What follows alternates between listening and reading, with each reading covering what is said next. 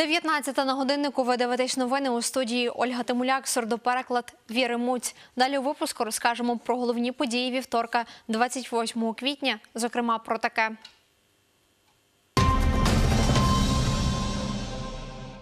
Львів'яни не можуть забрати паспорти із візового центру і виїхати на сезонну роботу за кордон. Польща готова приймати, вже готує по новинах. Люди бачать чартерні рейси. Ми вас заберемо прямо з кордону автобусами, бусами. Місцевий бюджет східниці у квітні недоотримає 80% надходжень через зрив туристичного сезону. Східниця завжди наповнювалася тільки з туристичною, як туристичним е, податком. Е, Це є акцизний збір, це є туристичний збір, е, це є плата за землю, оренда землі, плата за землю. У парку культури почали ремонтувати центральну арку. Вона в достатньо печальному стані, е, є затікання води. Відповідно, коли затікає вода, починає відвалюватися штукатурка. Відповідно, вигляд не зовсім естетичний.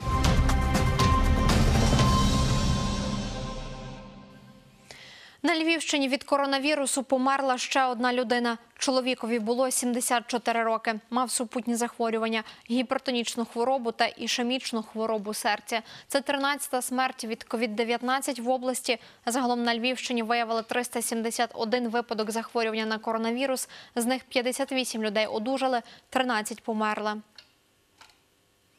Україна не відправлятиме людей на роботи до Польщі. Про це нині під час брифінгу повідомив міністр закордонних справ України Дмитро Кулеба. А за його словами, час пандемії українці повинні пересидіти вдома. Раніше польська сторона заявляла, що планує чартерні рей- рейси для робітників. Чи готові до цього українці та які проблеми нині постали перед ними? Дивіться.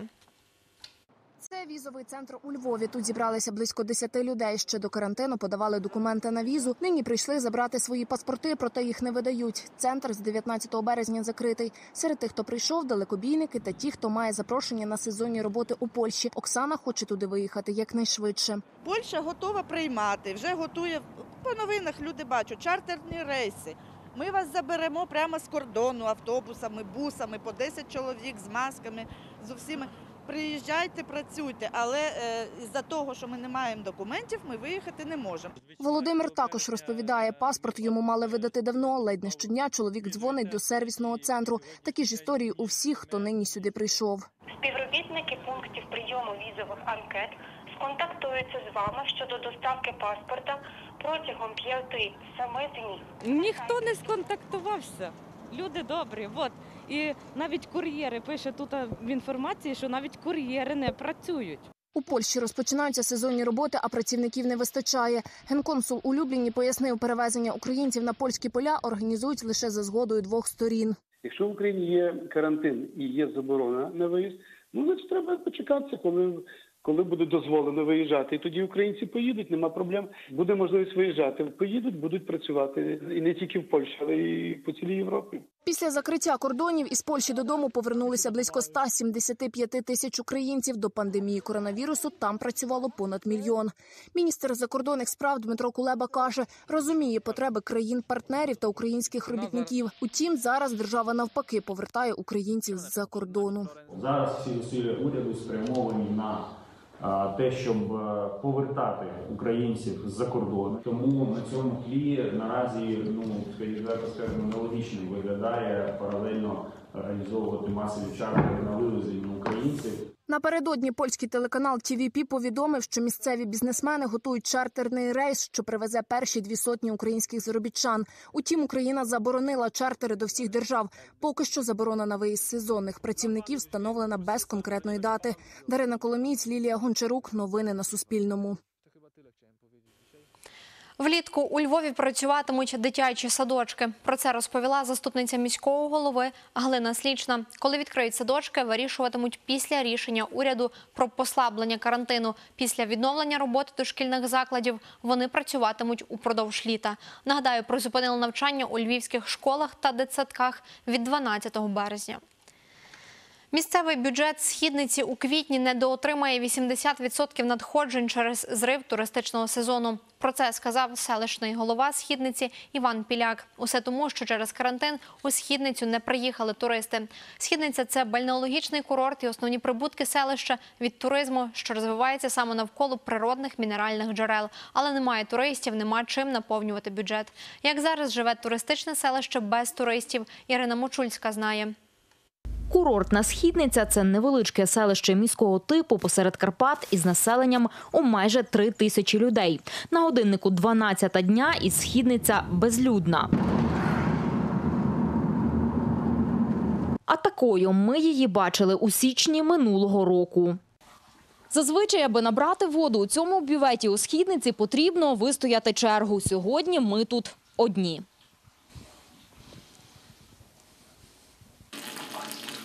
Саме за нею, мінеральною водою із вмістом заліза чи гліцерину, у східницю з'їжджаються туристи з різних регіонів України та із-за кордону, але не у 2020-му. Окрім порожніх вулиць та бюветів, простоює без гостей та прибутків увесь туристичний сектор. А він основа тутешньої економіки.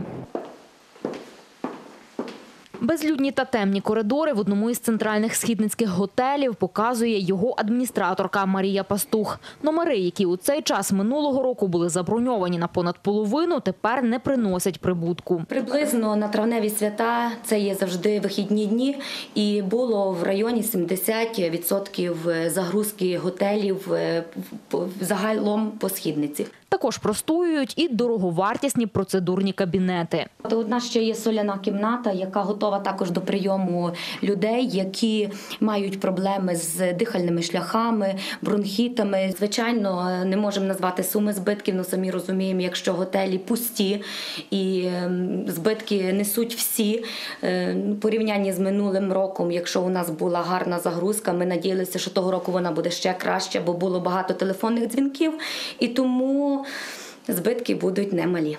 Карантинна весна принесла збитки і курорту загалом, каже селищний голова східниці Іван Піляк. Абсолютно неприбуткові березень та квітень, за його словами, сформували дефіцит у місцевому бюджеті.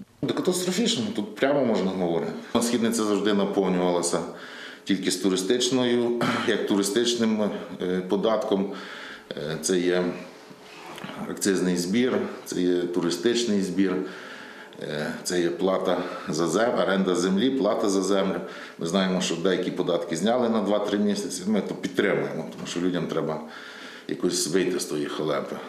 Але в бюджеті десь в квітні, у березні місяці було падіння. Ми отримали 75% з до- планованих, а в цьому місяці, напевно, буде від сили там 20 Тобто у вас дефіцит буде 80%. У місцевому туристично-інформаційному центрі кажуть, східниця зможе швидше пристосуватись до нових санітарних вимог у зв'язку зі світовою пандемією. Східниця має тільки одна єдина нецентралізований бювет, так як має більшість, а має багато питєвих галерей. Що дасть можливість, напевно, для туриста, які зараз дуже сильно переживають цю дистанцію, дасть можливість е, ходити по всій території східниці, не скупчуватися в одному якомусь бюветі, а ходити по всіх питєвих галереях. Ми вже зараз проводиться робота про те, що в кожну з галерей ми ставимо свої кварцеві лампи, дезінфектори, тобто все готується. За словами Василя Манька, минулоріч у східниці за півроку прийняли близько 100 тисяч туристів. І чи зможуть цьогоріч вийти на такий показник, хоча б до кінця 2020-го, не знають. Ірина Мочульська, Олег Греб. Новини на Суспільному. Львівщина. У Дрогобичі відновили роботу будівельних магазинів та книгарень. Про це повідомив прес-секретар міської ради Зиновій Квасній. За його словами, дозволять відновити роботу і частині інших магазинів у Дрогобичі, де немає масового контакту людей. Для цього підприємцям треба заповнити декларацію. Кожну заяву розглядає комісія із надзвичайних ситуацій. Таку заяву можна подати у відділ економіки Дрогобицької мерії. Зараз ми плануємо е, послабити і також включити інші сфери діяльності. Є форма декларації, яку вони можуть видрукувати, заповнити і подати до відділу економіки. Тоді ті всі заяви, які вони подадуть, індивідуально будуть розглянуті на комісії. Е, З підприємцями ведеться бесіда. Єдина вимога це дотримання правил карантину. Також у Другобичі відкрили ринок. Прийнято було рішення, щоб ринок зробити типу як захід супермаркет. Це єдиний вхід, єдиний вихід. Костел Успіння Пресвятої Богородиці, що у селі Білий Камінь Золочівського району, потребує оновлення. Про це каже місцевий житель Петро Перцун. Храм є пам'яткою архітектури національного значення. Його звели у 17 столітті. Уже 25 років він закинутий. Свій час тут була.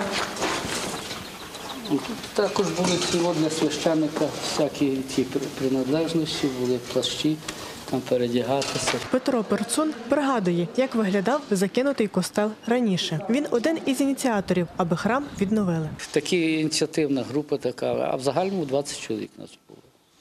Ну і ми тримали, у нас не було змоги втримати священника, тому що була дочерна так якби церква. Ось як зараз виглядає костел. З нього вкрали покрівлю. Неоднократно там приїжджали священники, приїжджали цей вон, подивилися. І далі діло не йшло. Був священник е, римокатолицький з Золочева. Сказав, що громади нема, нема з ким е, поремонтувати костел. Ну, зі сторони влади я теж помочі ніякої. Історик Іван Сварник розповідає, що після 1946 року костел закрили і перетворили на комору. Більше як через 30 років його відновили і облаштували виставковий зал Львівської картинної галереї. Уже майже 25 років костел не використовують. замок і костел оборонний. Вони витримали е, ці козацькі напади не один раз. Ну і він відомий тим білий камінь, що там народився польський король е, Михайло Корибут Вишневецький, єдиний представник української шляхти, яка досягнула найвищого статусу в польській Речі Посполитій. Так що це дуже цікавий е, об'єкт. І звичайно, що в цьому е, приміщенні можна було б зробити місцевий краєзнавчий музей. Я думаю, як туристичний осередок, білий камінь був би цікавий, тому числі для поляків. Я неодноразово звертався до римокатолицьких священників наших золочівських. Вони приїжджали тут дивитися. Були, були з е, Польщі, сестри милосердя, монахині були, також дивилися. Ну, ну всі пішли підсмакали. Ну, тут море грошей треба вкласти. Якби дуже була громада римокатоликів, то може на ще і підтримувалися, я так думаю, щоб якісь кошти вкладалися. А фактично громади нема, опікуватись нема кому. Воно не перебуває на балансі сільської ради. Костел Успіння Пресвятої Богородиці належить обласній адміністрації. У нас на балансі дуже багато пам'яток архітектури, і з них ми реставруємо на сьогодні. Значить, ми реставруємо 13 пам'яток. Минулому році було 18, тобто, щоб почати якось ну, свідомо почати і завершити. От е, в даному випадку поки що в планах немає реставрації цього костелу. От е, зараз на цей костел нас е, ну потрібно виготовити облікову документацію. Треба достукатися до сердець людей через церкву, можливо, через, як то кажуть, мо- модно через онлайн, через телевізор, через цей. Можливо, якась душа відкликнеться на такий запит, але далі я що буду казати? Що в моїх силах, то я не відказуюся і далі буду продовжувати. Ірина Ферен, Роман Гнатишин, Анатолій Кірачук. Новини на Суспільному. Львівщина. Центральну арку біля входу до парку культури почали ремонтувати. На це витратять майже 2 мільйони гривень. Роботи триватимуть кілька місяців. Ось так зараз виглядає арка при вході до парку культури зі сторони вулиці Вітовського. Її збудували близько 50 років тому. Вона в достатньо печальному стані, е, є затікання води. Відповідно, коли затікає вода, починає відвалюватися штукатурка. Відповідно, вигляд не зовсім естетичний. Сам технічний стан, фундаменти, стан е, самої конструкції є достатньо задовільний. Тобто там немає критичної ситуації, при якій би вона падала. Вона буде виглядати так само, як ви зараз бачите, але вона буде відреставрована. Так, це буде якісно, не буде ніяких цих розвалів, цих всіх плям і так далі. Крім того, планується підсвітка, е, будуть пандуси, два встановлені згідно проекту. Має бути гарно. Тендер на реставрацію арки виграла компанія Центр Комплекс. Вони уже розпочали підготовчі роботи. Починатись роботи будуть з дахової частини. Зараз ведуться підготовчі роботи по демонтажу всього освітлення, також відеонагляду, той, що здійснюється як працівниками МВД, е, міліції, поліції вірніше, і е, охорони парку. Плануємо з- десь справлятися в межах 3-5 місяців, в залежності від того, як тільки знімемо і відкриємо в ті проблемні місця, які є на даній споруді. За необхідності встановлять рештування та загородять арку. Проєкт реставрації готували близько року. Також відремонтувати хочуть частину огорожі біля арки. Роботи будуть розбиті на декілька блоків. Ми розуміємо, що в сьогоднішній час ми велику увагу в першу чергу приділимо а, гостроаварійним роботам. Реставраційні роботи будуть іти наступною чергою, тому що ми розуміємо, що є певний обмежений фінансовий ресурс, але е, гостроаварійні роботи ми власне плануємо протягом кількох е, місяців, тому що вони займуть час укріплені основи, а потім. Треба буде подивитися, деякі елементи треба буде знімати, реставрувати, деякі елементи потрібно буде доштуковувати. Усі роботи вартуватимуть майже 2 мільйони гривень. Олена Данило, Тарас Фомін. Новини на Суспільному. Львів.